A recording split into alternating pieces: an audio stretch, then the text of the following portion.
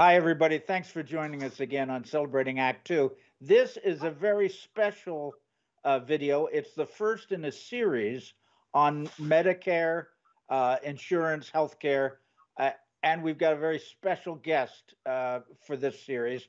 So we hope you not only watch this, uh, introducing him, but watch the whole series. Uh, you'll see them weekly, and eventually, when they're all done, um, you can go to our website, uh, celebratingact2.com, and hit the playlist, and you'll see all of them together.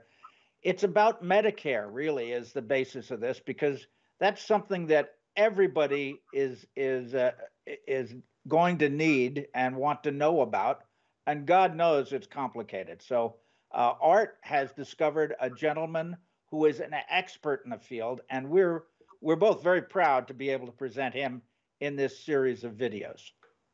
Yeah, the um, uh, uh, fellow we're going to speak to today is Aaron Zolberg, Broad, Zolbrod, uh, who I met a couple of weeks ago. Sounds like an old friend, Art. uh, he's not old. We're the old friends. Uh, but uh, in any event, uh, uh, I met him a couple of weeks ago at a online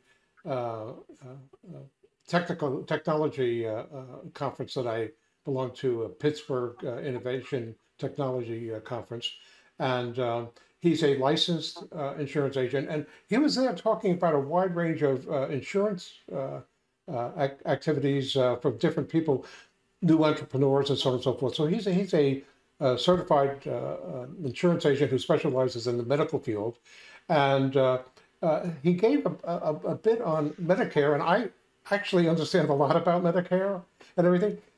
But he showed me that I only scratched the surface in this ever-changing field. So without oh, further yeah. ado, let's meet Aaron Zolbrod. And uh, there you go, Art. Thanks, Aaron. you know, I am I am in Act Two, so I'm in Act Two now. So I'm not, you know, you I'm with are. you guys. You don't look it. You need more gray. Yeah, well, the Act Two is 50 and older. Is that right? We're, yeah, we're but, your, but your Act Two, your Act Two, your personal Act Two is really as a uh, uh, as a uh, fisherman, unlicensed fisherman. Is that correct? I'm not, well, I don't know about license, but uh, we're working on that though. We're working on getting our captain's license. My son okay. and I are actually. Any, anyway, well, Aaron, um, you Aaron you can you give a little bit of your background? Your... Yeah, I'm sorry. What was John? What were you saying? I was going to say you don't have to be over 50 to be an expert in Medicare. No, you do not. I've been doing this a long time. Yeah. And I'm sorry, Art. Go ahead. So, so anyway, just give us a little bit of your background, how you got into this, and uh, uh, uh then let's get into the first uh, subject. Well, I am going to age myself a little bit because I got into this because about 16 years ago, um, I was getting out of, I've been in sales most of my life, and I was getting out of uh, the car business. I ran big car dealerships, um, huge car dealerships in Albuquerque, New Mexico, and it was 60, 70 hour weeks. And I just wanted to change careers. I had moved back from New Mexico to Pennsylvania.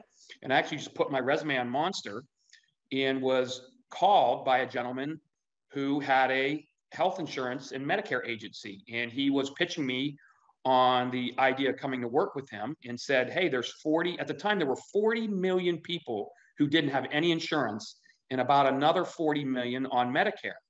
And, you know, I thought to myself, wow, that's 80 million people to market to. That sounds like a pretty good opportunity. And so I kind of jumped in.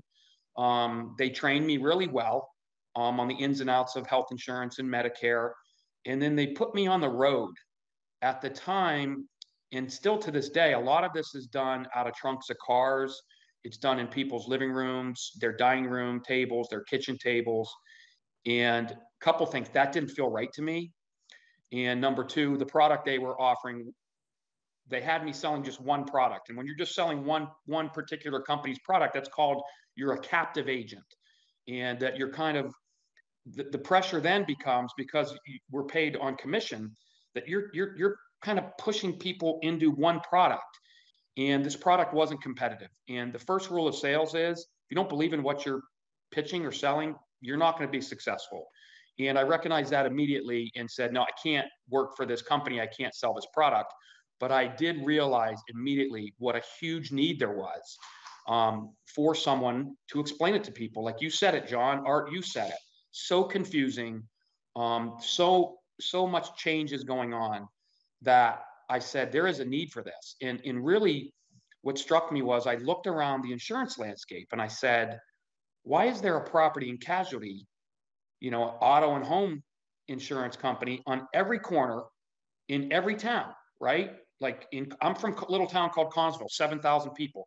There's like seven insurance agents, agencies, property and casualty within like 10 blocks of me. Mm, and I mm, said, why yeah. is there not one single person that has a brick and mortar location for health insurance and Medicare insurance? We all need it. Yeah. And I just couldn't believe it. And I said, I'm going to open up a brick and mortar building. People told me I was nuts. And I, again, I knew there was a market for it. I literally hung my 15 years ago, April 1st, we, we opened um, the health insurance store in 2008. Guys, I hung my sign that had my phone number on it. And five minutes later, I got a phone call, somebody inquiring about that is, that is a true story. And I said to myself, my gosh, this is going to work. Yeah. Um, and I started doing a radio show and the phone started to ring. When I started this business 15 years ago, it was me, my dog. I had one desk, one telephone, a computer, one of those $100 print scan fax machines. Um, and 15 years later, guys, the rest is history. We have three locations. Um, there's 13, counting myself, there's 13 of us um, at the health insurance store. Uh, we currently have 14,000 active clients, and we probably in 15 years advised well over 20,000 to 25,000 people on you know what is the best way to insure themselves how to protect themselves and then you know take care of them um, once they become clients making sure that if they have any issues questions concerned that we're there as a as a backup for that aaron this is uh, a- could you um, could you um, uh, give us a uh, an idea in this first episode of the state of medical insurance and medical care and the uh, kinds of insurance that you address to help fill in the, the holes for people? Yeah. So what what's great about what I do and, and why I needed to make that move away from being a captive agent is I wanted to be a broker. So I wanted people to be able to come in and we could be a one-stop shop. They could tell me what their needs are, their health issues are, their budgets are, and then we could fit them in, you know, into that slot where they're needed to be. So so as a broker, we're contracted with you know 20 or 30 companies and every competitive company in the market so the beauty is we're not pressuring anybody that we're we're, we're more tour guides we're more problem solvers um, to, to find people solutions um, for all their healthcare needs. And that's on the bottom of our you know on our window providing solutions for all your healthcare you know health insurance needs. Um, to, to go back to art the state of, of our health insurance um, and healthcare in this country i think it's an absolute mess. Um, I, I, I, am not a proponent of socialized medicine like they have in Canada and France and Italy, because that does, in my opinion, lead to rationing of, of care. But, you know, we don't have a good system right now. I consider we have what's called a sick care system, right? Where, where, where most doctors and hospitals are paid on a fee for service.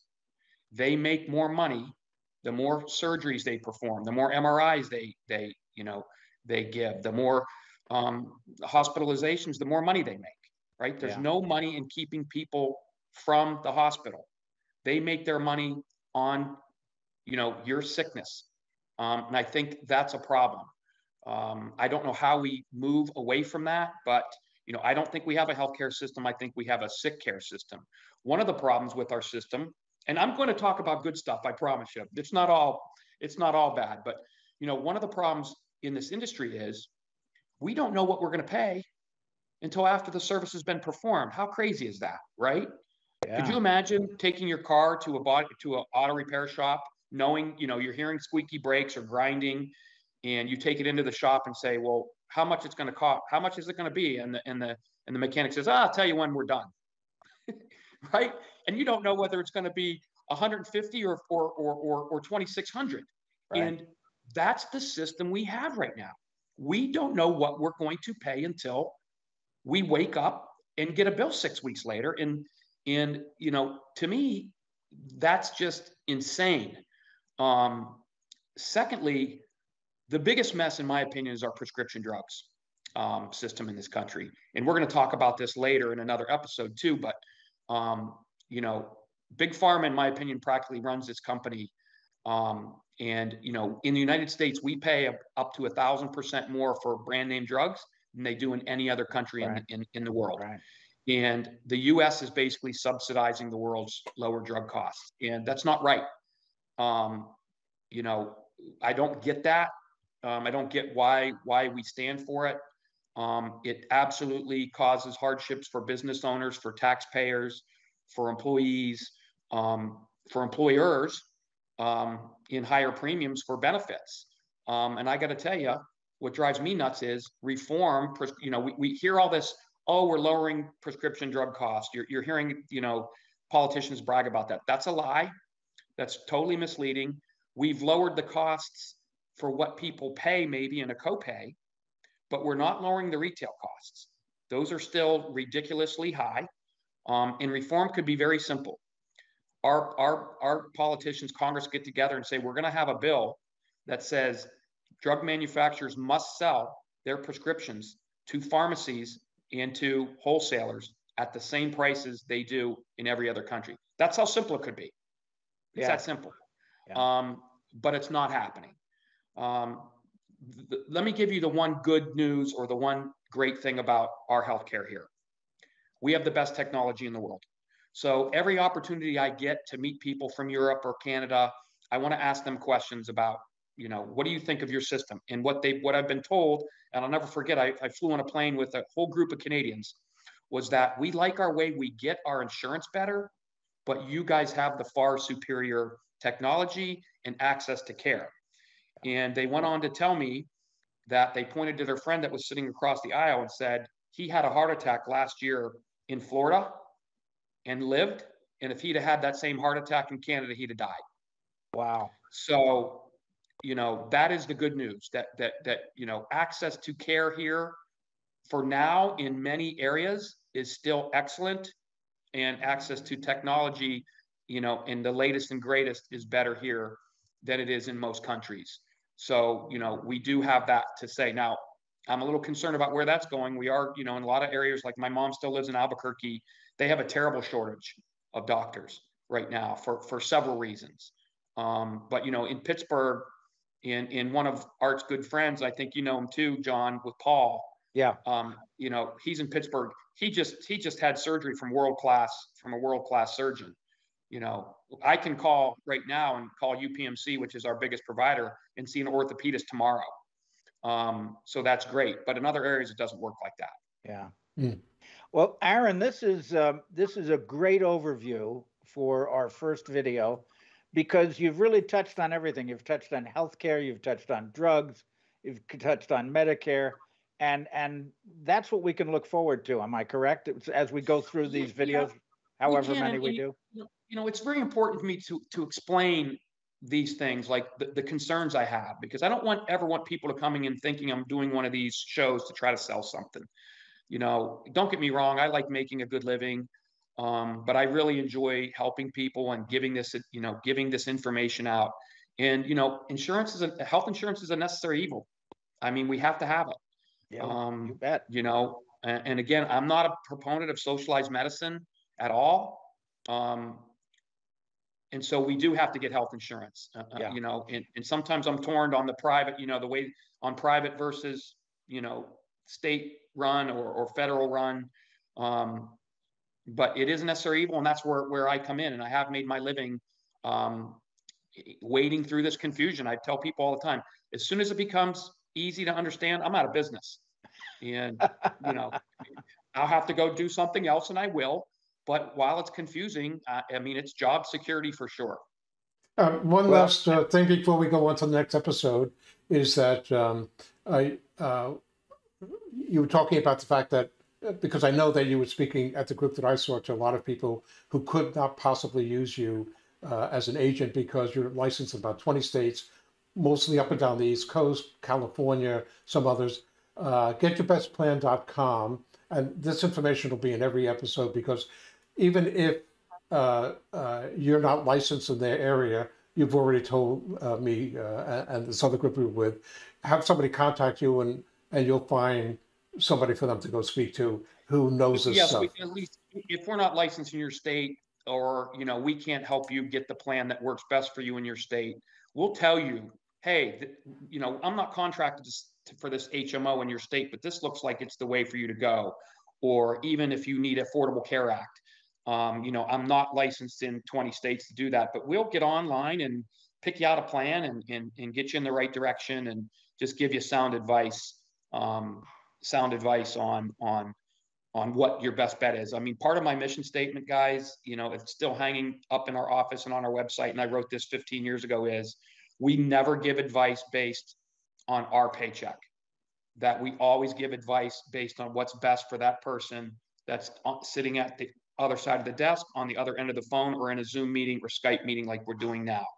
And I'd probably say 50% of the time with people we meet, our advice is something for them to do something that we don't gonna we're not going to get a commission for, that they have access to a plan through their company they work for or retired from, um, or spouse or their employer. That's that's better than what we can do. So um, that that's that's what you're always going to get from us.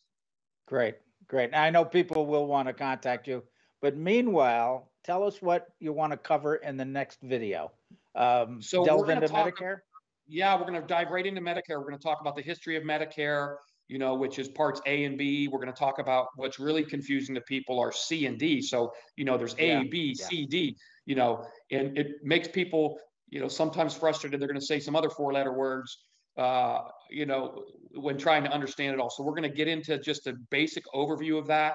As we move through the series, we're going to talk about the two types of Medicare plans, the pros and cons um, of those, uh, the, you know, trapdoors and pitfalls. Um, you know, and we're going to talk about Joe Namath um, and, you know, those crazy commercials we see on TV that we're all Yeah. sick of that I can't stand. Um, we're going to talk about health insurance for people who aren't on Medicare in one of the uh, one of the Good. segments, long long term care. Um, Good.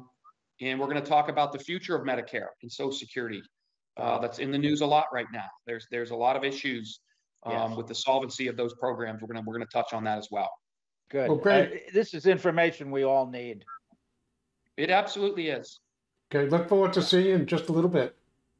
We're Good. happy. Thanks we're, so we're much, really, Aaron. We're really excited to, to be a part of this, guys. We, I really appreciate you inviting me. Our, our pleasure, believe me.